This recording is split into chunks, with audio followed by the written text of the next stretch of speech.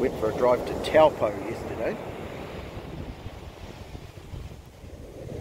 A couple of hours north of where we live.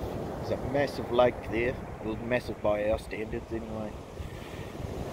It's an old volcanic crater that's now full of water. Apparently an enormous volcano. I can't recall how long ago, perhaps a couple of thousand years ago.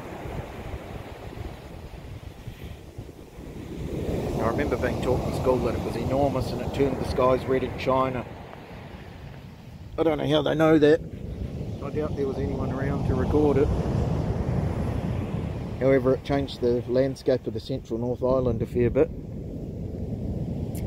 By all accounts, a gargantuan volcano.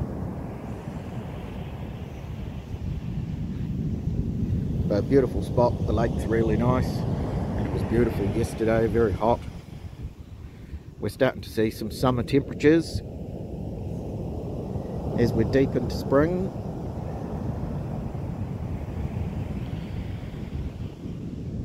Angus likes the warmer temperatures, Millie not so much. Millie's a bit more like myself. Doesn't like the heat too much. As long as you let her take a rest, too hot. Have our little water bottle everything's okay. Are you ready to go and get a puppuccino, Angus? Uh, no, no reaction to that. Angus? Puppuccino?